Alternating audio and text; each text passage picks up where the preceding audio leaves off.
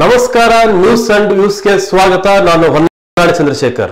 News and views ಅಂದ್ರೆ ಇವತ್ತಿನ ಒಂದು ಸುದ್ದಿಯ ವಿಶ್ಲೇಷಣೆ. ಇವತ್ತಿನ ಸುದ್ದಿ ಏನಂದ್ರೆ, ಸುಮಲತಾ ಅಂಬರೀಷ್ ಅವರು ಪಕ್ಷೇತರರಾಗಿಯೇ ಉಳಿತಾರ, ಬಿಜೆಪಿಗೆ ಸೇರ್ತಾರ ಕಾಂಗ್ರೆಸ್ ಅಲ್ಲಿ ಬಾಲು ತೆಗೆದಿದೆಯಾ, ಜೆ ಡಿ ಎಸ್ನಲ್ಲಿ ಹೇಗಿದೆ ಪರಿಸ್ಥಿತಿ ಅಂತ. ಸುಮಲತಾ ಅಂಬರೀಷ್ ನಿಮ್ಗೆಲ್ರಿಗೂ ಗೊತ್ತು. ಕನ್ನಡದ ಖ್ಯಾತ ಚಲನಚಿತ್ರ ನಟಿ ಬೇರೆ ಬೇರೆ ಭಾಷೆಯಲ್ಲೂ ಸಹ ಅಭಿನಯಿಸಿದ್ದಾರೆ.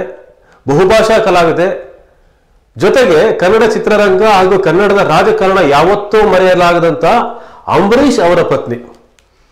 ಮಂಡ್ಯ ರಾಜಕಾರಣ ಕಳೆದ ಅಂಬರೀಷ್ ಅವರು ಜೀವಂತ ಆಗಿರುವವರೆಗೂ ಸಹ ಅದಕ್ಕಿಂತ ಹಿಂದೆ ಒಂದು ಮೂರು ದಶಕಗಳ ಕಾಲ ಅಂಬರೀಷ್ ಅವರ ಜೊತೆಗೇನೆ ಈ ಮಂಡ್ಯ ರಾಜಕಾರಣವು ಸಹ ಒಂದು ರೀತಿ ಮಿಳಿತಗೊಂಡಿತ್ತು.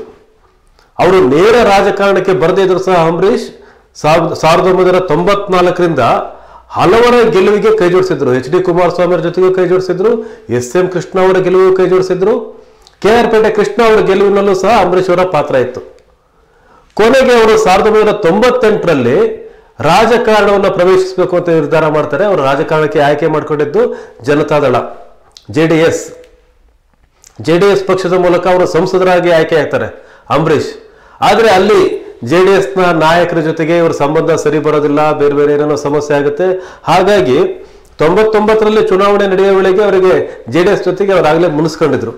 ಕಾಂಗ್ರೆಸ್ ಪಕ್ಷವನ್ನು ಸೇರಿದ್ರು.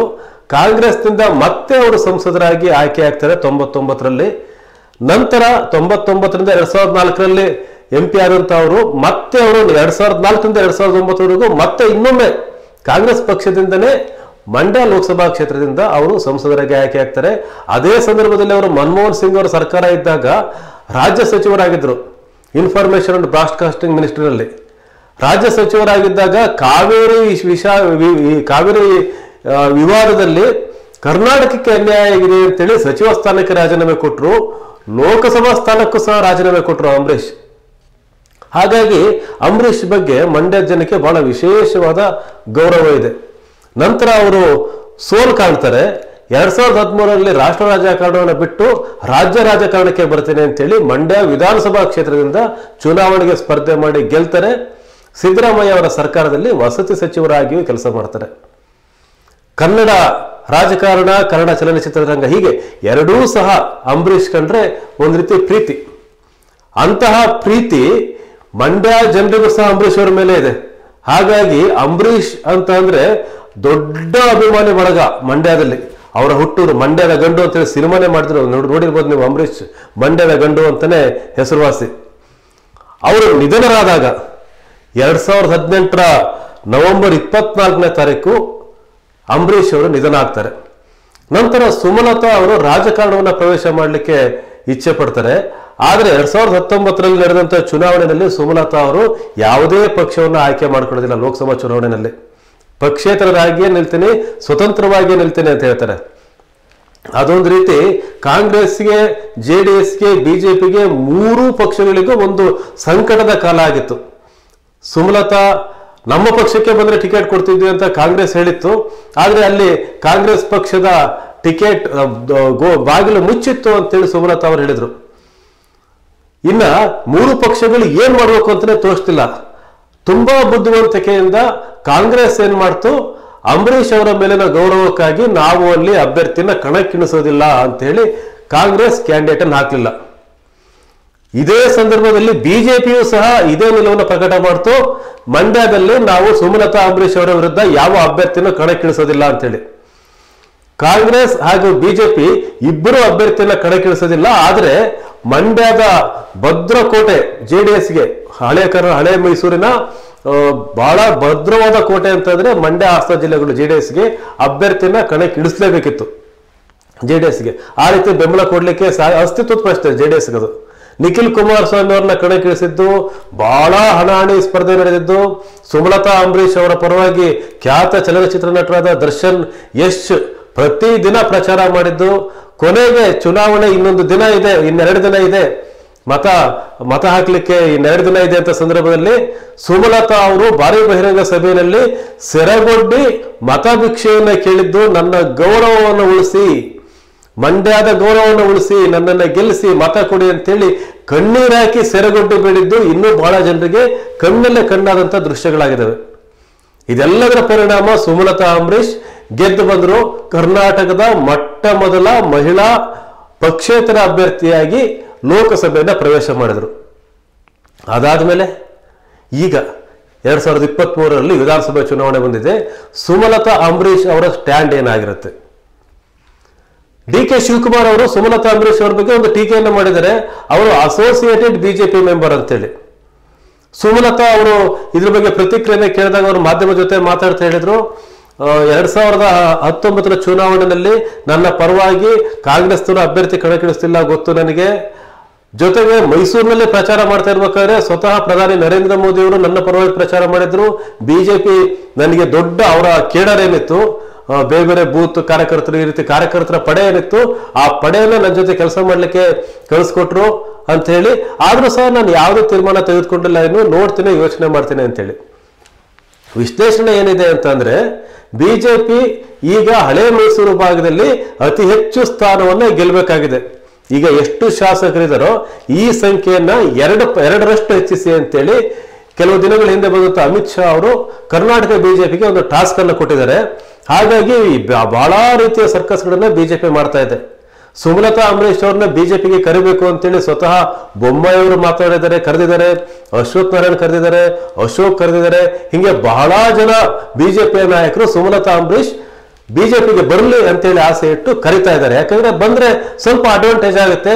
ಈ ಹಳೆ ಮೈಸೂರು ಎಲ್ಲಿ ಜೆ ಡಿ ಎಸ್ ಬಹಳ ಪ್ರಬಲವಾಗಿದೆಯೋ, ಮಂಡ್ಯ ಹಾಸನ ಈ ಜಿಲ್ಲೆಗಳಲ್ಲಿ ಅಂಬರೀಶ್ ಅವರ ಹೆಸರು ಮತ್ತೆ ಸುಮಲತಾ ಅಂಬರೀಶ್ ಅವರು ಬಂದ್ರೆ ಅನುಕೂಲ ಆಗುತ್ತೆ. ಏನು ಟಾಸ್ಕ್ ಇದೆ ಬಿಜೆಪಿಯ ಮಿಷನ್ ನೂರ ಐವತ್ತು ಇದು ಮುಟ್ಟಬೇಕು ಅಂತಂದ್ರೆ ಈ ಹಳೆ ಮೈಸೂರು ಭಾಗದಲ್ಲಿ ಜೆ ಡಿ ಎಸ್ನ ಮಣಿಸ್ಲೇಬೇಕು ಅಂತಕ್ಕಂಥ ನಿರ್ಧಾರಕ್ಕೆ ಬಂದಿರೋದ್ರಿಂದ ಸುಮಲತಾ ಅಂಬರೀಶ್ ಬಂದ್ರೆ ಅನುಕೂಲ ಆಗುತ್ತೆ ಬಿಜೆಪಿಗೆ. ಆದ್ರೆ ಬರ್ತಾರ ಅವರು. ಅಂಬರೀಷ್ ಬಹಳ ವರ್ಷಗಳ ಕಾಲ ಕಾಂಗ್ರೆಸ್ನಲ್ಲಿ ಇತ್ಕೊಂಡು ರಾಜಕಾರಣವನ್ನು ಮಾಡಿದರು ಬಿಜೆಪಿಯನ್ನ ಟೀಕೆ ಮಾಡಿದರು ಆದ್ರೆ ಇವರು ಪಕ್ಷೇತರರಾಗಿ ನಿಂತರು, ಗೆದ್ರು ಅದೆಲ್ಲ ಸರಿ. ಆದ್ರೆ ಇಲ್ಲಿ ಸುಮಲತಾ ಅವರಿಗೆ ಇರ್ತಕ್ಕಂಥ ಟಾಸ್ಕ್ ಏನು ಅಂತ ಅಂದ್ರೆ ಮಂಡ್ಯ ಜಿಲ್ಲೆಯ ಮಂಡ್ಯ ವಿಧಾನಸಭಾ ಕ್ಷೇತ್ರ ಹಾಗೂ ಮದ್ದೂರು ವಿಧಾನಸಭಾ ಕ್ಷೇತ್ರವನ್ನ ಬಿಜೆಪಿಗೆ ಗೆಲ್ಲಿಸ್ಕೊಡ್ಬೇಕು ಅಂತೇಳಿ. ನೀವು ಬಿಜೆಪಿಗೆ ಬಂದು ನೀವೇ ನಿಲ್ತಿರೋ, ಮಗ ಅಭಿಷೇಕ್ ನಿಲ್ಲಿಸ್ತಿರೋ, ಯಾರು ನಿಲ್ಲಿಸ್ತಿರೋ ಈ ಎರಡು ಕ್ಷೇತ್ರಗಳಲ್ಲಿ ಗೆದ್ದು ಕೊಡ್ಬೇಕು ಅಂತೇಳಿ. ಮಂಡ್ಯ ವಿಧಾನಸಭಾ ಕ್ಷೇತ್ರದಲ್ಲಿ ಒಂದು ಬಾರಿ ಕಾಂಗ್ರೆಸ್, ಒಂದು ಬಾರಿ ಬಿ ಜೆ ಡಿ ಎಸ್ ಅಲ್ಲಿ ಗೆದ್ದಿದೆ. ಆದರೆ ಮದ್ದೂರು ವಿಧಾನಸಭಾ ಕ್ಷೇತ್ರದಲ್ಲಿ ಸಾವಿರದ ಒಂಬೈನೂರ ಎಪ್ಪತ್ತೆರಡು ಅಂದ್ರೆ ಸಾವಿರದ ಒಂಬೈನೂರ ಎಪ್ಪತ್ತೆಂಟನೇ ಇಸ್ವಿವರೆಗೂ ಆ ಕ್ಷೇತ್ರದಲ್ಲಿ ಗೆಲ್ತಾ ಬಂದಿದ್ದು ಕಾಂಗ್ರೆಸ್. ಅದಾದ ನಂತರ ಜೆ ಡಿ ಎಸ್ ಮತ್ತೆ ಕಾಂಗ್ರೆಸ್ ಗೆಲ್ತಾ ಬಂತಲ್ಲಿ ಒಟ್ಟು ಕಾಂಗ್ರೆಸ್ ಈ ಕ್ಷೇತ್ರದಲ್ಲಿ ಎಂಟು ಬಾರಿ ಗೆದ್ದಿದೆ.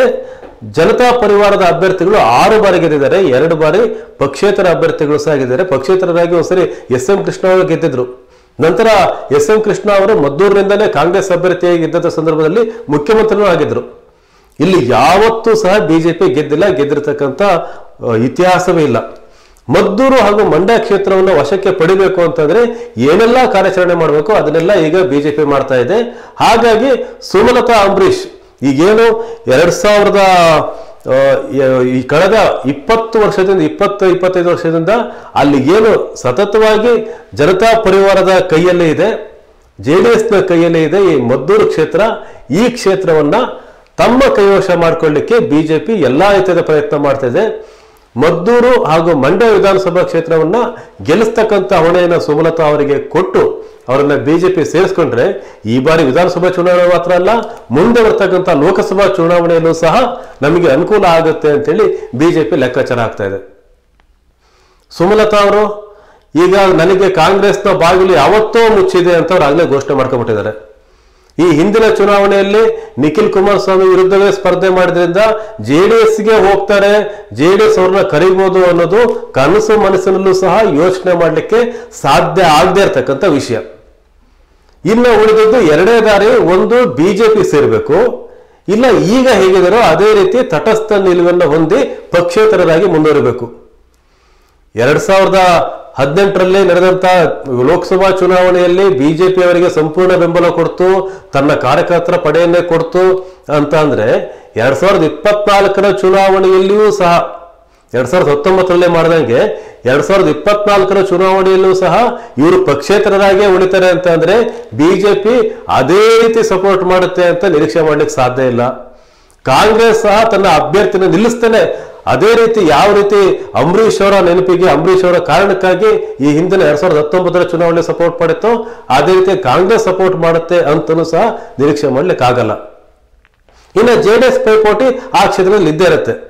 ಹಾಗಾಗಿ ಮುಂಬರುವ ಎರಡ್ ಸಾವಿರದ ಇಪ್ಪತ್ನಾಲ್ಕರ ಲೋಕಸಭೆ ಚುನಾವಣೆಯಲ್ಲಿ ಯಾವುದಾದ್ರೂ ಒಂದು ಪಕ್ಷವನ್ನ ಆಯ್ಕೆ ಮಾಡ್ಕೊಳ್ಳೇಬೇಕಾದಂತ ಅನಿವಾರ್ಯ ಪರಿಸ್ಥಿತಿಯಲ್ಲಿ ಸುಮಲತಾ ಅವರು ಇರುವಾಗ ಆ ತೀರ್ಮಾನವನ್ನ ಒಂದು ವರ್ಷ ಮುಂಚೆನೆ ಮಾಡಲಿ, ಆ ತೀರ್ಮಾನದಿಂದ ನಮಗೆ ಅನುಕೂಲ ಆಗಲಿ ಅಂತೇಳಿ ಬಿಜೆಪಿ ಬಯಸ್ತಾ ಇದೆ.